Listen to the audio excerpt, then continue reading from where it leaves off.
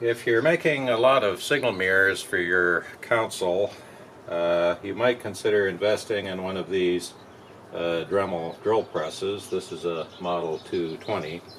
It uh, this together with a uh, conical brush makes it easy to uh, neatly uh, start removing the silvering from the back of a mirror. I've got a, a mirror here this is a 3 by 5 inch mirror. I uh, checked to make sure that the, the Dremel press is uh, centered and then I uh, position the mirror uh, centered here.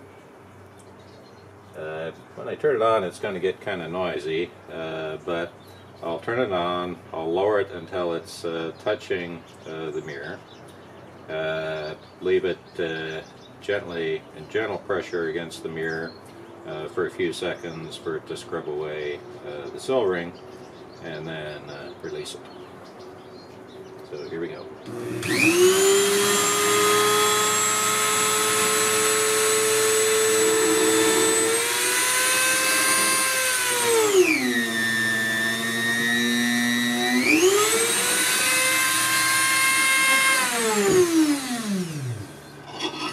So now you can see we've uh, neatly uh, removed uh, the silvering and uh, we can now proceed to the next step which is to remove the rest of the silvering with a disc brush.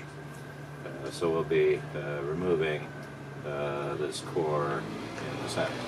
One thing, to be careful when using a Dremel tool, either the conical brush we used here to outline uh, the area to remove the silvering, uh, but also uh, the disc brush that we're going to use to remove the rest.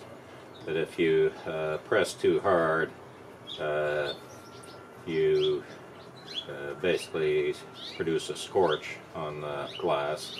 I'm not quite sure what it's made of, but uh, I've never been able to remove it, so uh, again, be, be gentle with the pressure. Uh, you can also, instead of using a steel disc brush, you can use a brass disc brush, which is uh, softer metal. Uh, but uh, the drawback of that is you also uh, wear away wear away the material more rapidly.